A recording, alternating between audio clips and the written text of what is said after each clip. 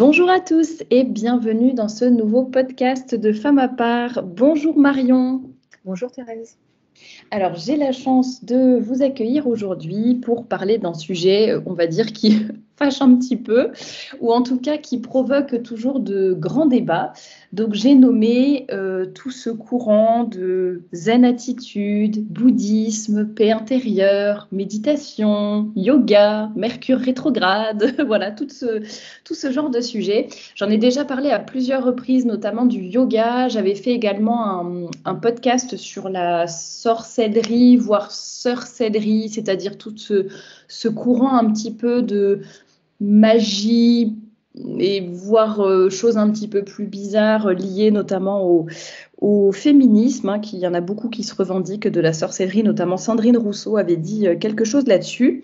Euh, et je sais que ça provoque toujours beaucoup de, de débats, notamment quand j'avais fait le podcast sur la sorcellerie, euh, j'avais eu des personnes qui me disaient ah faut pas parler de choses que vous ne connaissez pas et c'est beau et c'est je sais pas quoi, faut essayer de comprendre. Puis le yoga c'est pareil, alors que moi je vois vraiment tous les dangers qui sont derrière ces courants-là qui peuvent parfois de premier abord euh, paraître innocent. Et donc, euh, Marion, vous m'avez contacté pour, euh, en me disant que vous étiez partante pour parler de, ces sujets-là avec moi. Et donc, juste avant de commencer, de rentrer dans le vif du sujet, ben, je vais peut-être vous laisser vous présenter et du coup nous expliquer justement avec votre qualité de chercheuse et de chercheur je sais pas trop comment on dit. Bon, je vous laisse euh, vous présenter, nous dire pourquoi, euh, comment vous vous êtes intéressé à, ces choses-là et voilà, pour qu'on sache un petit peu comment vous vous situez avant de, commencer à, rentrer dans le vif du sujet. Oui, euh, bien merci Thérèse d'avoir accepté de discuter un petit peu avec moi de, ces sujets. alors moi j'ai un, doctorat en anthropologie des religions de l'école pratique des hautes études, donc une grande école qui est à Paris. Euh, et puis j'ai enseigné euh, à l'université de Columbia à New York pendant deux ans dans le cadre d'un contrat postdoctoral. Euh, et j'ai également enseigné à l'Institut catholique de Paris. Et aujourd'hui, je mène des recherches un petit peu de manière libre, enfin sans, être affiliée à un, centre de recherche en particulier, même si j'ai de nombreuses collaborations avec des chercheurs dans le monde entier et je publie des, ouvrages qui ont trait à la religion. Euh, notamment, donc j'ai publié sur le bouddhisme, euh, on redonnera les titres éventuellement plus tard, et puis aussi sur le, sur le Sacré-Cœur. Voilà, donc j'ai deux grands axes de recherche qui sont le bouddhisme et le catholicisme. Euh, comment j'en suis venue à m'intéresser au bouddhisme? En fait, c'est assez simple. C'est ça part au départ d'une recherche personnelle, d'une quête personnelle quand j'avais une vingtaine d'années. Euh, moi, je n'ai pas reçu euh, une, éducation religieuse très poussée, c'était plutôt du, catholicisme euh, coutumier, hein, c'est-à-dire bon, une sorte de tradition familiale. J'ai reçu un catéchisme qui, malheureusement, comme beaucoup d'entre nous à cette époque-là, était très défaillant, qui n'a pas du tout répondu à mes questions. Hein. la méthode pierre vivante, pour ne pas la nommer. Bon, bref, donc je n'ai pas eu de repère très solide, pas de réponse à mes questions. Et à l'adolescence, je me suis posé énormément de questions. Je me suis dirigée vers euh, différentes religions, spiritualités, et un jour euh, vers le bouddhisme. Hein. Je vous fais ça en, euh, manière courte. Et puis, donc, j'ai lu des livres sur la méditation, sur le yoga, etc. Et tous ces livres, à un moment, disent bon, il faut quand même pratiquer. Il faut aller voir un maître, il faut aller voir quelqu'un qui s'y connaît. Et donc, de fil en aiguille, en rencontrant des gens, j'ai été amenée à visiter deux, temples, enfin deux centres bouddhiques euh, tibétains qui étaient en, qui exerçaient un petit peu dans le monde entier, mais moi je les ai fréquentés quand j'étais en, France et aussi en Angleterre. Euh, et là, j'ai découvert que ça n'avait strictement rien à voir avec ce qu'on nous racontait dans les livres, qu'il y avait des rituels, que le lama était considéré, donc le maître était considéré comme un, être omniscient, comme un Bouddha, euh, il y avait des abus d'autorité, des abus même sexuels, etc. Euh, bon, voilà, donc donc c'est ce, décalage entre la réalité et ce qu'on en dit dans les livres qui m'a qui m'a intéressée. Et moi, j'ai abandonné donc cette pratique-là. Et par contre, j'ai transformé cette interrogation en démarche, démarche de recherche universitaire. Voilà, c'est comme ça que j'ai fait ma thèse sur un, centre bouddhique. Donc, c'était une, enquête de terrain sur un centre bouddhique qui était dirigé par Sogyal Rinpoche, un lama tibétain qui, était vraiment un escroc, on peut le dire. et qui, par contre, qui s'est fait connaître par la publication d'un livre qu'il n'a pas lui-même écrit, mais il en était l'auteur officiel, le livre tibétain de la vie et de la mort, qui a eu un très grand succès. Voilà. Et donc, j'ai continué à creuser cette question. Donc, je, peux parler du point de vue de l'ancienne pratiquante, on peut dire, et puis du point de vue de la chercheuse ou chercheur, enfin, peu importe. Et donc, euh, en fait, c'est intéressant ce que vous dites, parce que moi, c'est ce qui m'a interpellé un petit peu dans, bah, le message que vous m'aviez écrit pour me parler de tout ça. C'est vraiment, comme vous l'avez dit, ce, décalage euh, entre ce que, l'on montre au grand public du, bouddhisme ou de tous ces courants-là. Et en fait, ce qui se cache vraiment derrière cette euh, religion slash philosophie, enfin ça, vous nous en direz un petit peu plus. Et euh, c'est vrai que moi, en tout cas, vraiment n'ayant pas du tout approfondi ce sujet et connaissant juste ce que je lis, ce que j'entends dans, ce que je peux entendre dans les médias, etc. Bon, l'image que je me fais du bouddhisme ou de tout ce qui est yoga, zen, etc., c'est justement beaucoup de bienveillance, d'amour, de paix, euh, pas aucun conflit. Euh, il faut être vraiment très très gentil, très bienveillant les uns avec les autres. On s'accepte tous. Euh, beaucoup de paix intérieure. Vous voyez un peu ce, détachement de, de, nos, de, nos, sentiments, etc. et en fait, en tout cas, moi personnellement, n'ayant, je pense que je peux vraiment être comme une personne lambda, n'ayant rien creusé. Pour moi, c'est vraiment très positif et euh, si j'étais pas catholique ou que j'avais aucune éducation spirituelle ni quoi que ce soit, bah, je suppose que ça pourrait très bien être un courant religieux, si on peut l'appeler comme ça, qui me qui me plairait, qui me donnerait envie, qui me voilà, qui m'attirerait parce que je me dirais, bon, bah, c'est chouette, il n'y a que du positif, il n'y a pas trop de contraintes. La seule contrainte, en fait, finalement, c'est de se maîtriser, de maîtriser un petit peu euh, ses passions, ses sentiments, se détacher un peu des, des choses de, de, la terre et du monde, s'élever, quoi, prendre un petit peu de recul et de hauteur pour ne pas se laisser atteindre par. Euh, les souffrances, les difficultés, etc. Puis accepter tout le monde. Mais euh, visiblement, vous, d'après donc toutes vos recherches et puis vous connaissez un petit peu les, les choses de l'intérieur, euh, au contraire, vous voyez que derrière ce qu'on appelle le bouddhisme, il y a vraiment une philosophie euh, bah, nihiliste, mais je vais vous laisser expliquer et qui est vraiment, euh, qui peut vraiment être néfaste. Donc, est-ce que vous pouvez peut-être nous expliquer ce qui, bah, ce qui est vraiment derrière, quoi, ce qu'on appelle le bouddhisme? Alors, juste deux mots sur ce qu'on appelle le bouddhisme chez nous. alors, il faut savoir que le bouddhisme, c'est un terme qui a été inventé par des occidentaux euh, au milieu du 19e siècle et il n'y a aucun mot dans aucune langue asiatique qui corresponde à bouddhisme. Euh, ils ont chacun, chacun euh, un terme, soit en sanskrit, soit en tibétain, japonais, etc., chinois. En général, ça veut dire les enseignements, dharma, le fameux dharma, ce sont les enseignements, mais le dharma, c'est aussi la loi qui régit l'univers, c'est l'ordre du monde, l'ordre des choses.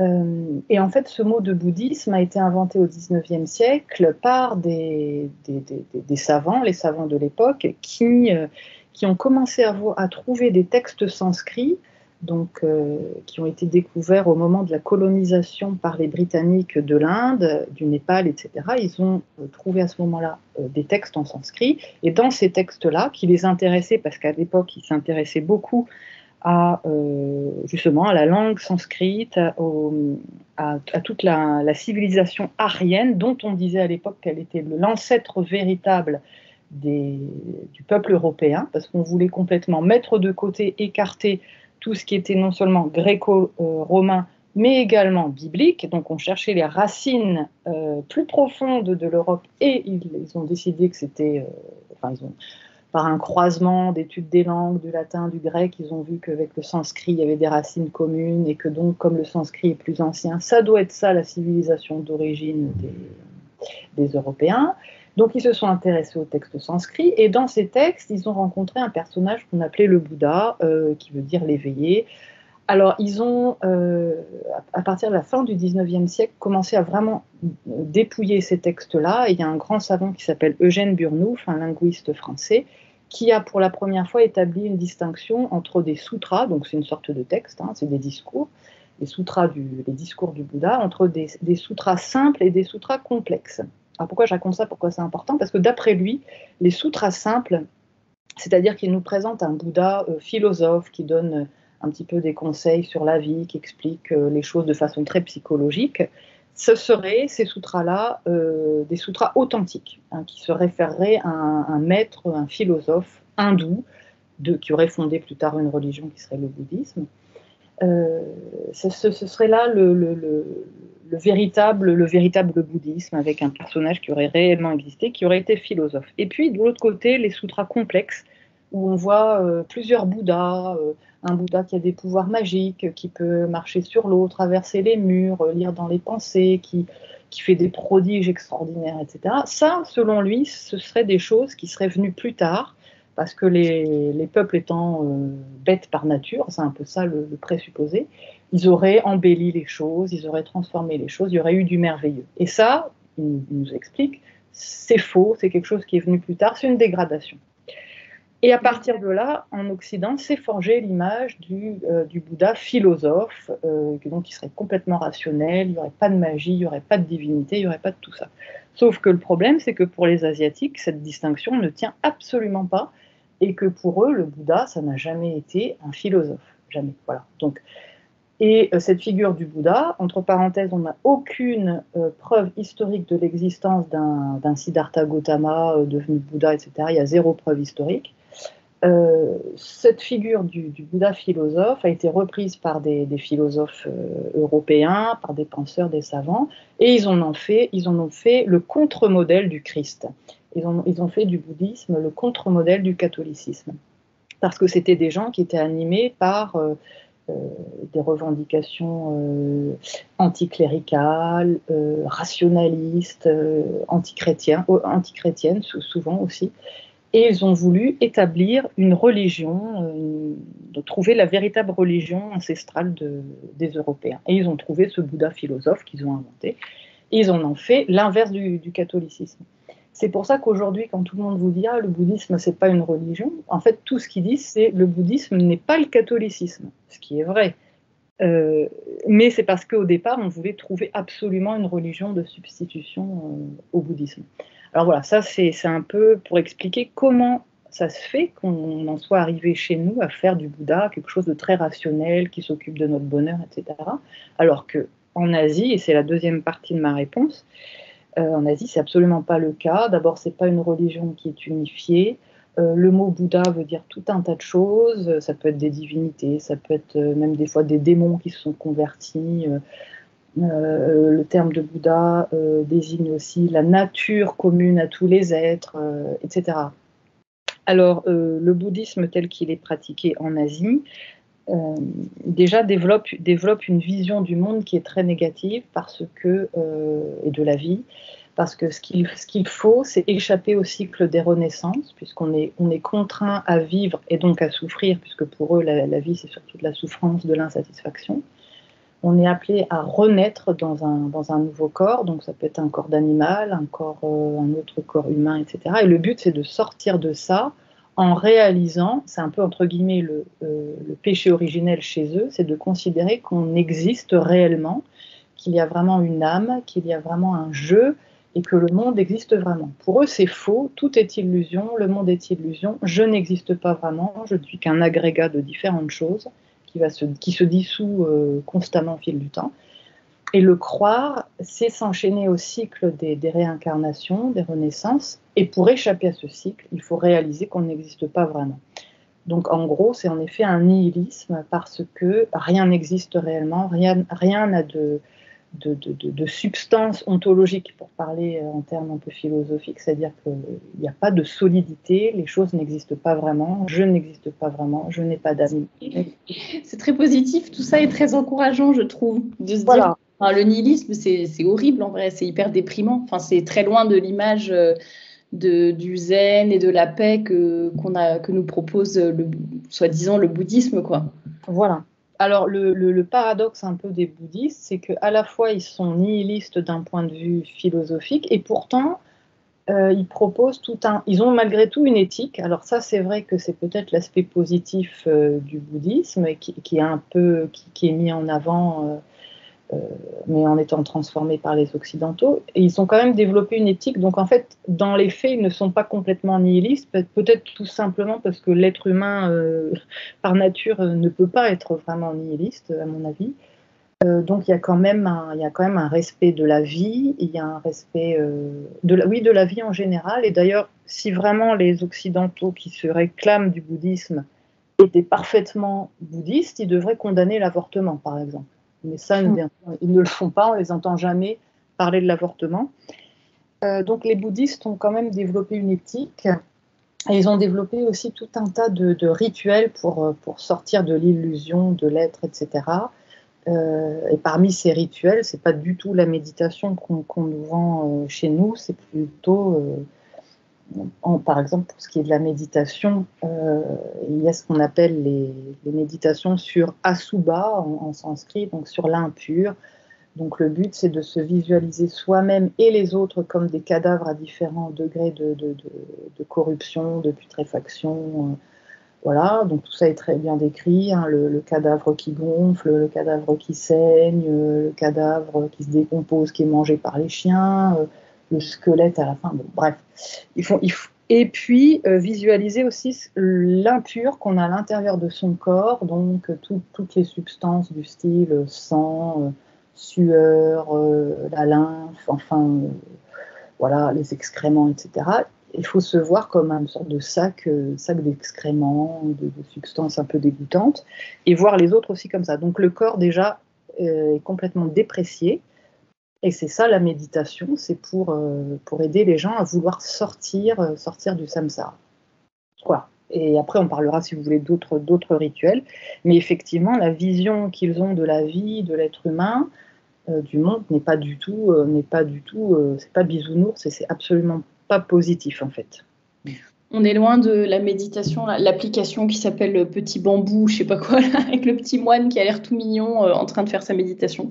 Bref, quand on sait ce qu'il y a derrière et ce, enfin, selon eux, ce sur quoi il faut euh, travailler, euh, méditer, réfléchir, etc., tout en sachant que de toute façon, euh, tout n'est que néant.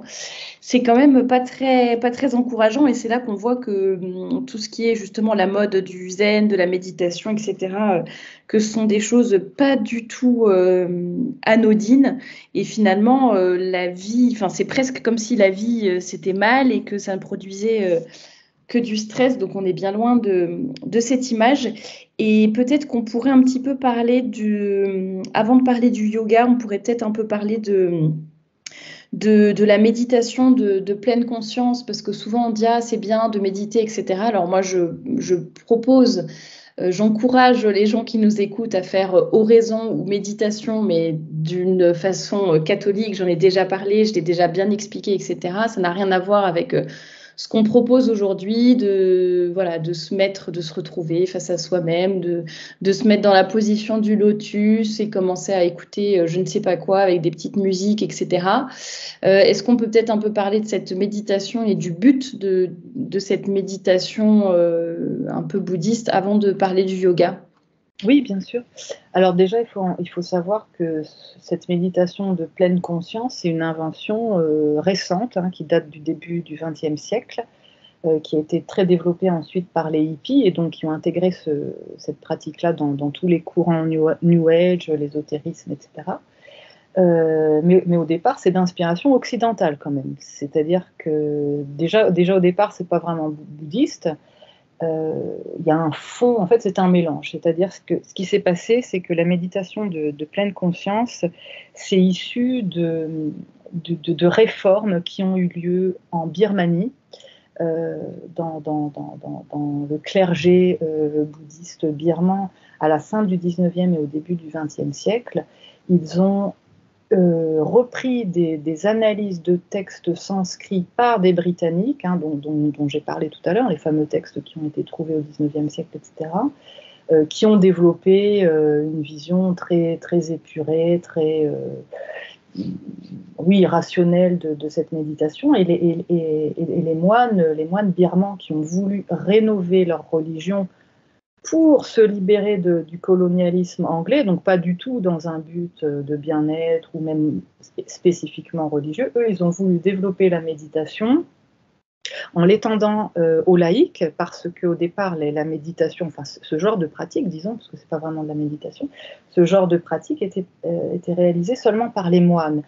Et euh, en Birmanie, à cette époque-là, les, élites, on avait assez de la, colonisation anglaise, et se sont dit, on va prier, en fait, c'était même pas méditer, on va prier tous, y compris les laïcs, pour nous libérer de, l'emprise de, l'Angleterre.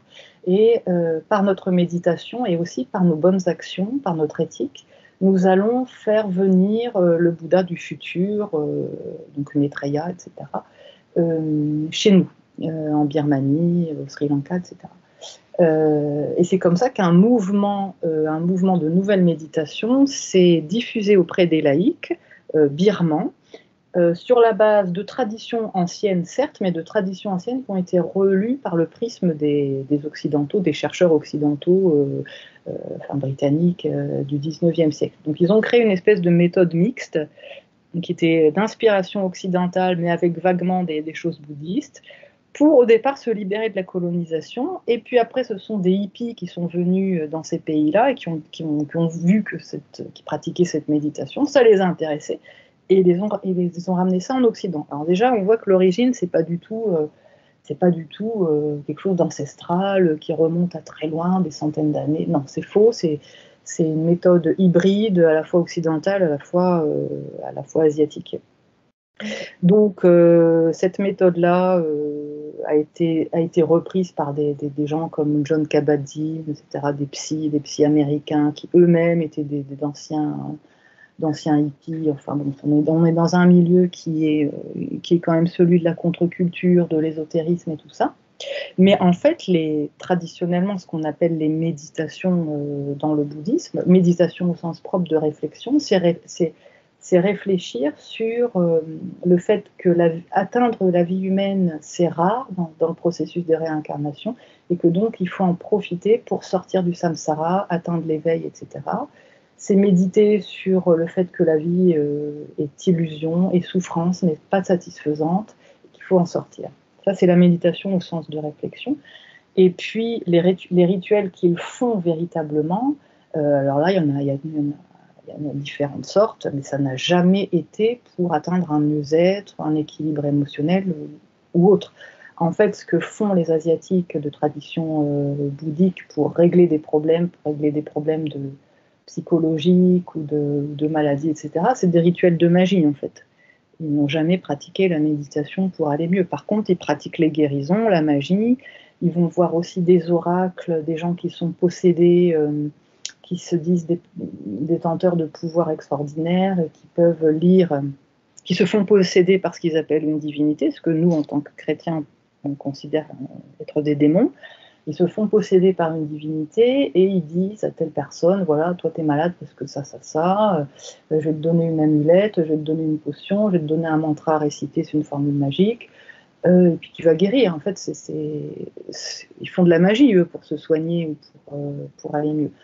Donc il y a un décalage énorme. En fait, cette notion de, méditation est très embrouillée il faut absolument essayer de démêler un petit peu ce qui vient de l'Occident, ce qui vient d'une réforme par les, les, élites asiatiques au début du XXe siècle pour des raisons politiques, comment ça a été repris par les hippies, ce que font les Asiatiques de leur côté. Enfin bon, c'est il faut vraiment démêler les, les, choses, mais en tout cas, pour répondre à la question, ils n'ont jamais pratiqué, d'abord, ils n'ont jamais pratiqué vraiment la méditation, c'était quelque chose de réservé aux moines, ou sinon, c'était, euh, je vous dis, c'était plus une sorte de prière pour faire venir le Bouddha du futur. Euh, et puis sinon, c'est des rituels, c'est des rituels qui sont souvent de la magie. Voilà. Oui, c'est intéressant. Euh, vous avez parlé de mantra, et ça, c'est quelque chose qu'on entend beaucoup euh, à l'heure actuelle. Moi, je l'ai déjà entendu justement des psychologues ou autres qui, qui, disent voilà, il faut que tu te récites ces mantras pour, je sais pas, voir, voir ta vie de façon plus positive. Enfin, on, entend souvent ce mot de mantra. Et c'est vrai que pour moi, il était vraiment neutre. Pour moi, mantra, c'était presque devenu, enfin, on l'entend tellement que c'était presque devenu pour moi euh, synonyme de euh, euh, petite phrase à répéter, enfin voilà, quelque chose de positif. Un peu comme quand je me dis, bah tiens, euh, quand ça va pas, je me répète euh, le Seigneur est mon berger, je ne manque de rien. Voilà, je choisis une mm. phrase de la Bible pour me m'encourager, pour retrouver euh, le sourire, pour retrouver l'optimisme ou je ne sais quoi. Bon, et là, et mantra, on a l'impression que c'est un peu pareil. Voilà, c'est une petite formule, une petite phrase tirée de la Bible ou pas, mais voilà, quelque chose qu'on va se, se répéter quand ça va pas ou peu importe. Et là, la façon dont vous parlez des mantras, mais en fait, on se rend compte que c'est pas du tout ça. C'est vraiment, euh, à la base, c'est quand même euh, formule magique euh, pour des trucs un peu bizarres, quoi. Oui. Alors, oui, en fait, oui, vous faites allusion au, mot mantra qui est utilisé chez nous, un peu comme leitmotiv ou. Ouais. je cherchais un synonyme, mais c'est ça, oui, oui. Ouais, ouais, et, et, en fait, alors, chez nous, alors bon, on peut utiliser comme ça un mantra, bon, sous forme de synonyme, de, de, de phrases qu'on se répète. Bon, à la limite, c'est c'est pas méchant, c'est juste que autant utiliser un mot qui, qui, vient de chez nous parce que voilà. Mais, mm. mais sinon, euh, alors les mantras de, donnés par des psys aujourd'hui, euh, si c'est, euh, en fait, c'est de la méthode Coué hein, qui font, c'est-à-dire ouais, je vais mieux. bon, contrairement au fait de se réciter une parole qui vient de l'Évangile, par exemple, il n'y a rien d'objectif dans, dans, ces mantras-là. Il faut s'auto-convaincre de, de que je suis heureuse alors qu'en fait je suis malheureuse. Mais il n'y a, rien d'extérieur, il n'y a rien d'objectif alors que les paroles du Christ, on sait qu'elles ont été dites, ça renvoie à d'autres choses. Bon, bref.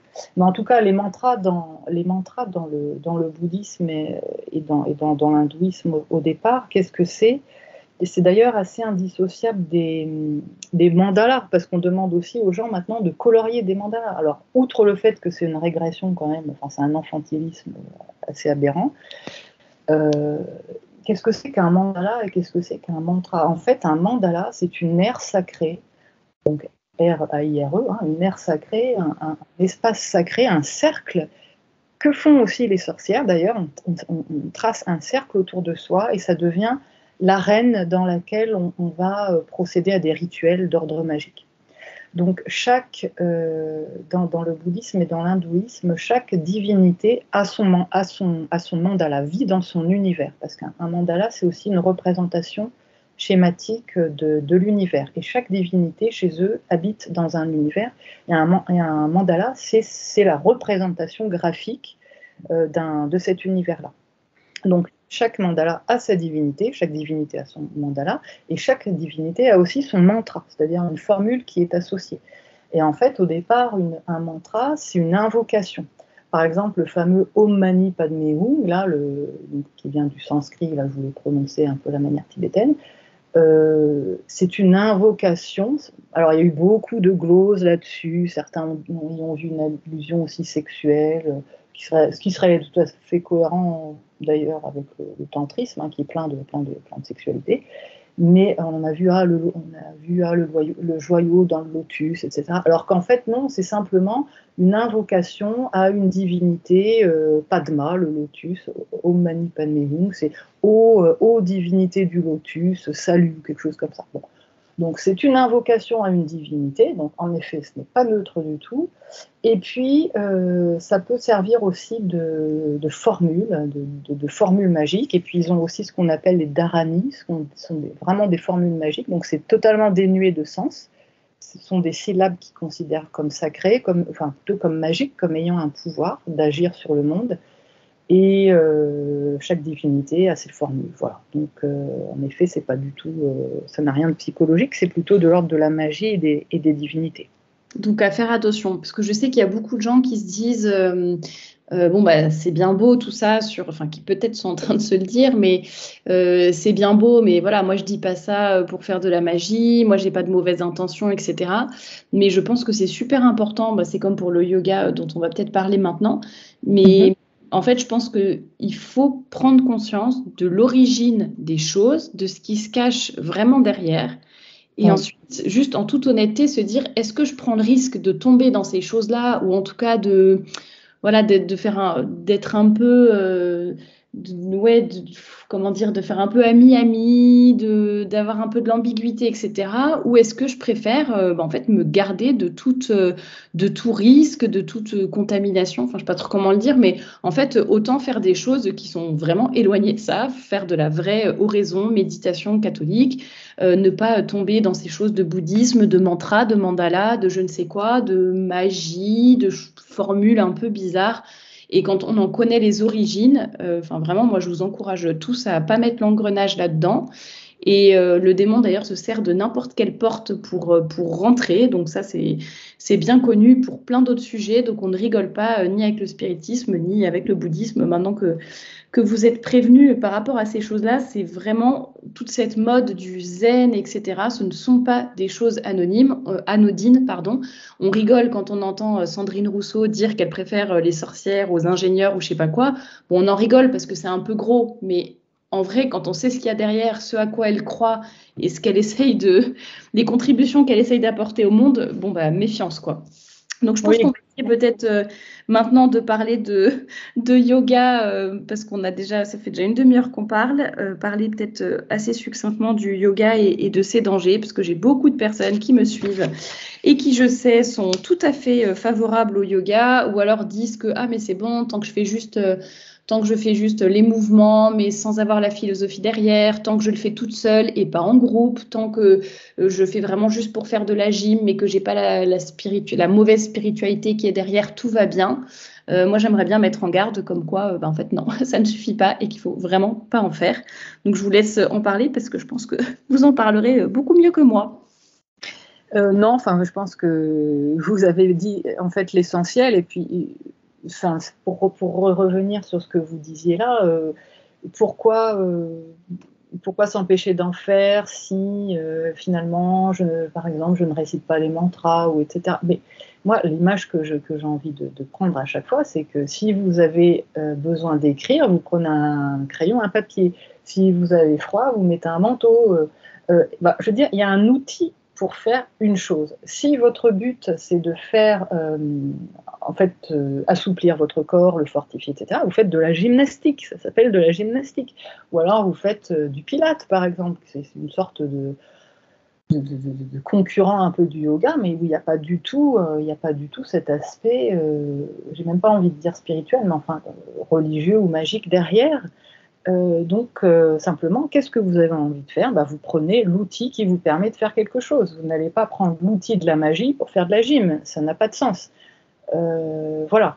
Et donc, en effet, le yoga, c'est pareil. C'est, enfin, le yoga tel qu'on le connaît aujourd'hui, c'est, ça a suivi exactement le même processus de transformation que la méditation, une espèce de va-et-vient, de réinvention faite par des occidentaux, des, des orientaux. au départ, le yoga, quand c'est arrivé en, en Occident, en Europe à la fin du 19e siècle.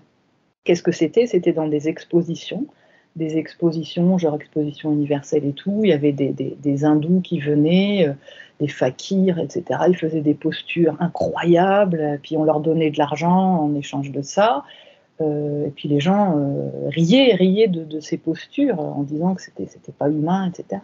Mais personne à l'époque aurait pensé euh, qu'ils allaient eux-mêmes apprendre ces postures-là pour pour leur bien-être. Et en fait, ce qui s'est passé, c'est que il y a eu tout un mouvement à la fin du 19e siècle qui, qui, était le mouvement eugéniste, donc qui avait pour but de développer une jeunesse forte, euh, avec un corps euh, fort, un corps souple, agile, euh, qui est prêt à quoi? Bah, Qui est prêt à mourir pour la patrie, qui est prêt à mourir pour la nation. Donc c'est la base de l'entraînement militaire. et il y a toute une un courant de gymnastique, la gymnastique scandinave, qui était mise au point à cette époque-là. On trouve des manuels après dans les années 20, 30, etc. tout le mouvement eugéniste de, ce qu'on appelait la culture, euh, la culture physique, avec l'haltérophilie, la gymnastique, tout un tas de choses qui ont été récupérées notamment par les mouvements nazis, euh, les mouvements euh, Mussolini et tout ça, pour développer un corps fort. Voilà. Et ça, ça a été repris par, par les hindous qui eux-mêmes voulaient développer la nation, enfin, se libérer du colonialisme, encore une fois, développer le nationalisme indien, etc. Ils ont repris cette, cette gymnastique-là Et puis, ils en fait un mélange avec, euh, avec des traditions de, de, yoga plus, plus anciennes. Mais le, yoga ancien n'a jamais parlé de posture physique. Les fameuses asanas, là, euh, c'est pas du tout, c'est pas du tout ancestral. On vous raconte que ça, ça remonte à des centaines, voire des milliers d'années. C'est faux. En fait, il, il parle d'une position, euh, d'une position physique. C'est la position assise. C'est la seule euh, posture qui est décrite dans les, dans les textes très anciens qui datent d'il y, a 2000 ans, enfin 2000 ans avant Jésus-Christ, je veux dire. Euh, il parle de quoi? Il parle de cette posture assise qui, qui, est bonne pour faire des, euh, des, pratiques rituelles. il parle de la conduite éthique, il parle de, de, la respiration, ça oui, parce que c'est lié au prana, à la vie, etc. Mais il parle jamais de, de posture. Et en fait, il y a un historien comment dire, anglais qui s'appelle Mark Singleton qui a écrit un livre euh, yoga Body, sur les origines des postures dans le yoga, il montre que ça, vient en fait essentiellement de la gymnastique scandinave qui était mise au point dans le courant eugéniste de la fin du 19e siècle. Voilà. Donc en fait, le yoga, c'est ça, euh, tel qu'il nous est présenté euh, maintenant chez nous. Par contre, le yoga, le yoga des yogis d'Inde, justement, là, ça renvoie plus à ce que nous, on appelle la sorcellerie. C'est-à-dire que là, je peux renvoyer aussi aux travaux d'un chercheur américain qui s'appelle David Gordon White, qui a beaucoup écrit. Il a écrit un livre notamment qui s'appelle Sinistre Yogi, ça donne tout de suite le, ton. Euh, en fait, le yogi, c'était une sorte de, sorcier, de vagabond un peu clochard, qui, euh, qui, avait des pouvoirs magiques et qui pouvait euh, jeter des sorts, prendre possession du corps d'autrui, notamment pour prendre la place d'un roi, par exemple, ou pour prendre la place de, d'un homme qui avait de, jolies femmes. Euh, voilà, donc le, yogi, c'est ça. C'est lui qui a des pouvoirs magiques et qui peut assujettir, parce que le yoga, ça vient de. C'est la même racine que le mot joue en, français, avec un G à la fin. Donc c'est celui qui assujettit, euh, qui, qui, jette des sorts, euh, etc. Voilà. Après, il y a différentes traditions yogiques. Il y en a qui insistent plus sur l'union avec la divinité, mais c'est pas la divinité chrétienne, évidemment. C'est la divinité hindoue qui est panthéiste. Voilà, donc c'est encore une fois ce qu'on pratique aujourd'hui. C'est en fait une gymnastique colorée d'éléments hindous. Euh, et ces éléments hindous, malheureusement, quelquefois peuvent conduire les gens à, l'hindouisme. C'est-à-dire que moi-même, j'ai pratiqué le yoga quand j'avais euh, une vingtaine d'années aussi.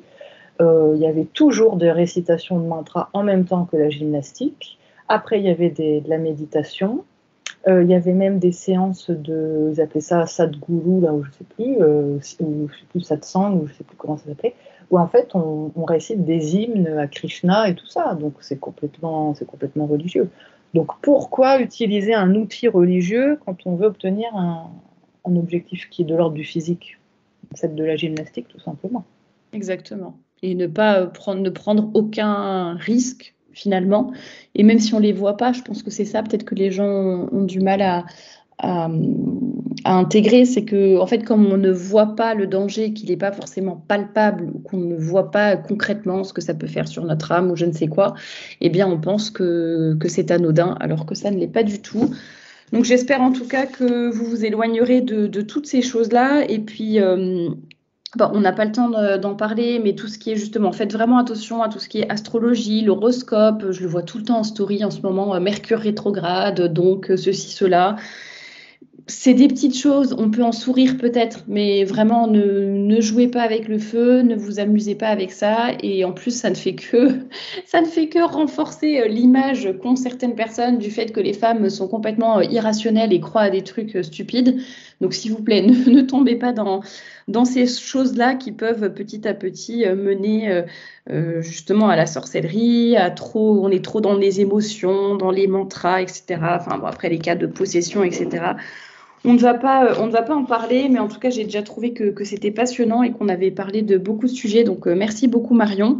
Et puis, je propose, euh, je propose aux personnes qui nous écoutent de, bah, si vous avez d'autres questions un petit peu sur ces sujets-là, N'hésitez pas à nous les poser en commentaire. Et puis, si on voit qu'il y a, que le sujet vous intéresse et que vous voulez euh, euh, en savoir plus, que vous avez d'autres questions, et eh bien, dans ces cas-là, euh, avec Marion, nous réenregistrerons un autre podcast, toujours un petit peu sur ces thématiques, parce que je pense qu'il y a beaucoup de choses qui peuvent être dites. Donc, n'hésitez pas à nous bah, nous dire par mail ou juste en commentaire sous le podcast, nous dire si ça vous intéresse, si vous voulez un épisode 2, si vous avez des, des questions précises. Et dans ces cas-là, on se chargera de, d'enregistrer un autre podcast. Et, euh, puis, je crois, euh, Marion, qu'en plus, vous avez un projet de, livre qui devrait, euh, sortir bientôt. Donc, quand on en saura plus, vous me donnerez toutes les informations, puis je les mettrai, je les mettrai en dessous de la vidéo pour celles que ça intéresse. Et vous aviez parlé au début du podcast d'un livre que vous avez déjà écrit pour le coup.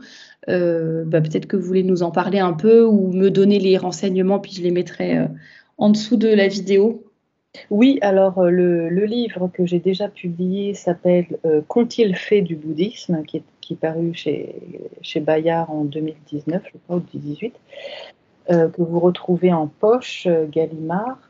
Et euh, là, je vais publier aux éditions du CERF cet, hiver un livre qui s'appellera euh, Le bouddhisme des bouddhistes, donc c'est-à-dire le bouddhisme des asiatiques. Et juste pour faire un petit point, je pense qu'il pourrait nourrir un peu la réflexion des personnes sur cette histoire aussi d'horoscope, etc. Euh, en fait, quand on regarde un peu tout ça, la méditation, le yoga, l'horoscope, ce qui ressort, je trouve, c'est la, volonté qu'ont ces personnes de contrôler leur vie, de contrôler au lieu de au lieu d'essayer de, faire la volonté de Dieu. Bon, quand on, quand on est croyant, croyant, en tout cas, euh, si on n'est pas croyant, au moins de se dire qu'on ne peut pas tout contrôler et que il faut, il faut, il faut faire un peu, un peu preuve de souplesse et d'acceptation de, de, ce qui vient, parce que finalement, l'astrologie, c'est essayer de, voir ce qui va se passer euh, en fonction de telle chose. Et donc, quand on sait ça, on pourra contrôler. La méditation, c'est pareil, c'est toujours le contrôle des émotions. Enfin, je veux dire, on ne peut pas être. Et puis, le, yoga, c'est pareil. C'est, en fait, c'est le contrôle du corps, de la respiration. On peut, comment voulez-vous être bien dans sa peau quand on est seulement dans le contrôle? Enfin, ce n'est pas possible, en fait. Donc, euh, voilà. Et je pense qu'il y a aussi le côté du vide spirituel, en fait, qui existe à notre époque. Et les gens, donc il y a à la fois, par exemple, pour les horoscopes, etc., il y a à la fois ce désir de contrôle et de un peu prédire ou prévoir l'avenir, comme vous le dites. Et il y a aussi le côté, euh, j'ai pas de spirituel dans ma vie, j'ai pas Dieu, j'ai pas la foi, donc je comble finalement ce manque spirituel par euh, d'autres d'autres explications, mais qui sont un petit peu transcendantes, mine de rien. Enfin, voilà, je pense que les gens cherchent de toute façon la transcendance d'une manière ou d'une autre parce que l'être humain euh, est fait pour, euh, pour ça et quand on n'a pas la foi malheureusement et eh ben on cherche euh, on cherche ailleurs et dans d'autres de d'autres façons donc c'est ça qui est un petit peu un peu triste aussi je pense qu'il y a ce, ce vide spirituel qui qui pousse les gens aussi, enfin qui les fait se tourner vers ce genre de pratique. Donc c'est donc c'est vraiment triste. Mais en tout cas, merci merci Marion de de toutes ces bah, de tout cet apport, euh, tout ce qu'on ne connaissait pas, en tout cas que moi je ne connaissais pas sur euh, le bouddhisme, sur la méditation, euh, sur tous ces sujets-là. C'est très intéressant de voir ce qui se cache derrière, de comprendre un petit peu vraiment l'origine, la philosophie, etc. Et de s'éloigner tout simplement de toutes ces choses qui sont dangereuses pour notre âme. Donc merci beaucoup Marion, encore une fois, d'avoir proposé de faire ce, podcast ensemble. C'était vraiment un, un bon moment. Merci à vous. C'est un bon moment pour moi aussi. Et puis on verra, euh, on verra si on fait un, épisode 2. En tout cas, euh, merci à toutes de nous avoir écoutés jusqu'à présent. Et on vous dit à très bientôt pour un nouveau podcast.